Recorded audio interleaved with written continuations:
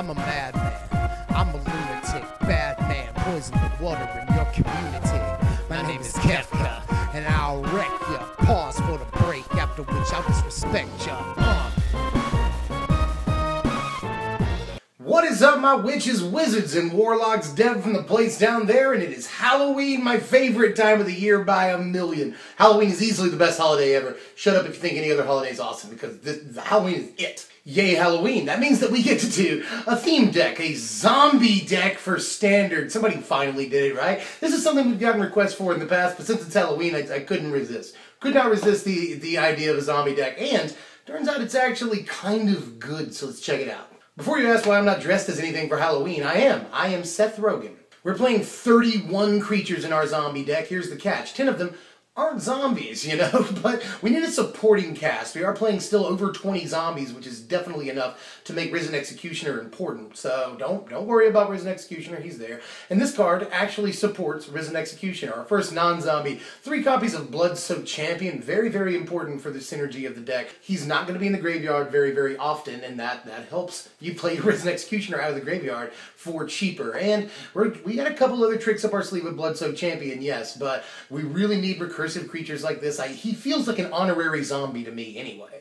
Here's a zombie. Four copies of Shambling Goblin, which is a much better one drop than I ever thought it would be. You know, I started off with just two copies of Shambling Goblin in the deck, but it proved to be very, very important. It can often take out their two drop and help us get a little bit later in the game if that's what we needed to do, you know, and it really keeps them from swinging in early game, especially if they're playing with a lot of one toughness creatures, because you can two for one them sometimes. It's not very often, but it'll at least keep them from swinging. And it's sometimes combat math that gets skipped over, you know, you'll chump block a big guy with your Shambling Goblin, and then help, when he dies, finish off something that one of your other creatures is blocking. Although, blocking is a bit of a problem for the deck. We are playing three creatures that cannot block. So, this helps us block, you know, if nothing else, it's a chump blocker that can sometimes take out two things if they don't see the math the right way. So, Shambling Goblin has been pretty darn good to me, honestly. Another non-zombie real quick. There's three copies of Despoiler of Souls in the deck. This also feels like an honorary zombie right here, right?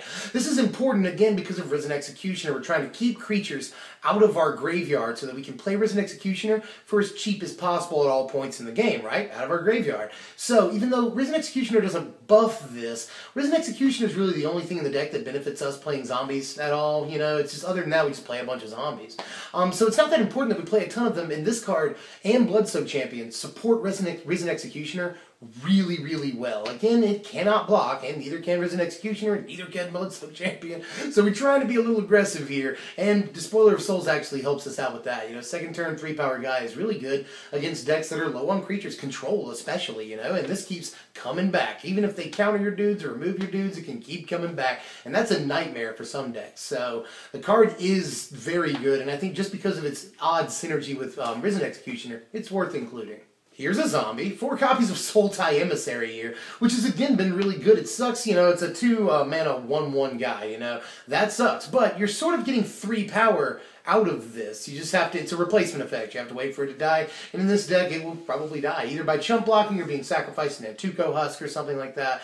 It will more than likely die, and there's plenty of things that we wouldn't mind flipping over after Manifest. So, Sultai Emissary, always good. Yet another card that helps us get into the mid game where we're a little bit more comfortable and can do some tricks. Our last non-zombie creature here, and I'll pair it with a zombie just to make you feel better. Four copies of Zulaport Cutthroat over here, and two copies of Nantuko Husk. Now you kind of see what we're doing. It's sort of Aristocrats Light in this deck, and Zulaport Cutthroat forms an awesome engine when card with cards like Blood-Soaked Champion, Despoiler of Souls, Risen Executioner that keep coming back, dying, coming back, dying, you know. There are turns where you can set up some really interesting sort of inevitability engines. If you have a Husk out and a Zulaport Cutthroat, than any of these other creatures that you can bring back back from the graveyard easily, you're actually guaranteed to do a damage or two every single turn, you know? And I know that Despoiler's resources will run out eventually, but in that case, you'll be able to play Risen Executioner more easily. So the deck has a lot of little synergies in it. And Zulaport Cutthroat is kind of a key piece in the deck because your dudes are going to be dying a lot. Some of them are designed to die. We just saw Sultai Emissary, so, I mean, and we're coming up on a card here that exploits creatures, and, and another one later that exploits creatures creatures, so our creatures are going to be dying, and Zulaport Cutthroat capitalizes on that very well. I don't have to explain the Husk, not only is he a zombie, so he goes in here, but he pairs up well with creatures that can come back very easily, like every creature we've mentioned except for Sultai Emissary, and he's just an absolute stinking beast in this format, and goes really well with Cutthroat, obviously. You know, it's like if we play Husk, we sort of we really sort of should play Cutthroat. Four copies of Fleshbag Marauder, the thing I said exploits creatures, and we got yet another thing. You probably guessed what it is. But anyway, Fleshbag Marauder really insanely good in this format already. You know, we see a lot of cards like um, the Drifting Death, or Jutai, you know, just hexproof creatures that we can't otherwise deal with. And it's sort of why Crackling Doom is a good card in this format, and it totally is. And for what it's worth, it's a three power guy for three mana, and usually you're going to be exploiting a Despoiler or a Bloodsoaked Champion or something that can come back easily. Fleshbag Marauder is an all star in the deck. Removal is good. Four copies of the Kingpin right here. Risen Executioner, the most important card in the deck, the only reason to build zombies, honestly. Risen Executioner is absolutely nuts. The, the boost is really, really important, but just as important is the ability to bring back a four power guy, no matter what removal they use, as long as that removal doesn't exile it, right? Um, but, I mean, they can counter it all they want to. You you will be bringing it back, you know? And we've got plenty of things in the deck. Um, Despoiler of Souls, Bloodsoaked Champion, Murderous Cut, and a creature that we have coming up here that help keep things out of our graveyard so that we can cast this guy for as cheaply as possible. And he's awesome.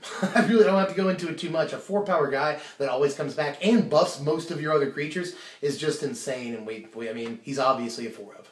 One copy of Sidisi Undead Vizier, the other thing that exploits creatures. I just don't see a reason not to play at least one, possibly two, but I'm trying to keep the curve low of Sidisi right here. Um, just, we, we don't really need the toolbox strategy. You're playing an awful lot of, you know, three and four ofs in the deck, but end of the day, it's always good to be able to search up anything you want. This, you know, survives combat with a Siege Rhino. That's pretty good. You know, lives to tell the tale and kills it. Death Touch is awesome. So I just, it's, it's great. And again, whatever you're exploiting will probably come back. So Sidisi's just prime. You gotta have her. And to finish off the creatures, two copies of Gurmag Angler, the best creature type ever, zombie fish. That's that's that's that's great. Um, but Gurmag Angler, the other card that helps keep things out of our graveyard, and very often we can just you know remove the rest of the stuff from our graveyard and be able to play the the one remaining card in it, Risen Executioner, for four mana. That's that's awesome, and we're able to get a five five out of the deal. When we play the Risen Executioner, we get a six six. This this again, this survives combat and kills a Siege Rhino. That's actually pretty important in the format. Um, so I just, again, Gurmag Angler is just insane for a couple of reasons. It's a big body that can end up being very cheap for you and makes Risen Executioner cheaper to play and is buffed by Executioner. So at least two copies of Angler. card is really good. Just six spells in the deck, and here's some removal mostly. We're playing three copies of Bone Splinters, one copy of Ultimate Price, and one copy of Murderous Cut. Now, I could see taking out a Bone Splinters maybe and adding a Nantuko Husk if that's if that was your preference. But so far, this has worked for me. I like that when we sacrifice a guy, we can a get that guy back nine times out of ten, and just kill a freaking guy. That's killing a creature for one mana is great. And especially in this deck where we're able to bring like most of our dudes back somehow. That's just that's absolutely insane. And Bone Splinters may even be a four of in this deck. Obviously Ultimate Price is just sort of early game removal for us, which is which is important. And a lot of the decks in the format will place, you know, monocolored creatures that are important. So still to this day. so Murderous or uh, Ultimate Price still an important card. Murderous Cut helps get things out of our graveyard for an executioner and kills the guy. Is one of the best removal pieces in the format. I don't see why we wouldn't play it here. And for the hell of it, one copy of Cruel Revival in the deck, which is actually really good. Cruel Revival is awesome when you can kill one of their dudes and get back usually a Fleshbag Marauder or even a Risen Executioner. There are times where you do that. Um, or any of your other zombies, but mostly it's going to be Fleshbag Marauder because one turn you're going to Cruel Revival a thing at instant speed, and then next turn, when you draw your card, untap and draw, play your Fleshbag Marauder, and that, I mean, you've killed two of their dudes, you know? So that can be a really devastating play, Cruel Revival plus Marauder. So I'm actually thinking about upping the copies, but again, we're trying to keep the curve a little low, although I really love the instant speed on this card. And here are the lands. You know, Mortuary Mire has been actually pretty darn good. Yet another thing that keeps creatures out of our graveyard so that we can play Risen Executioner more easily and helps our resiliency out. Rogue's Pass is just sort of my own personal preference. I love it whenever I'm playing Nantuko Husk, so I'll play a Rogue's Passage. And here's the sideboard, you know, mostly against um, other aggro and mid-range decks. We're packing some removal here, but against control we have some stuff, especially if we can stick that Palace Siege. We can stick that Palace Siege, it either clocks them out with the damage and, you know, gain life thing, the drain effect, or we can bring back a creature every turn, which is just as crippling against control, especially considering a lot of our creatures come back anyway, and now we can start getting back Fleshbag Marauders for when they play their big dragons that we can't target otherwise, so that's pretty cool.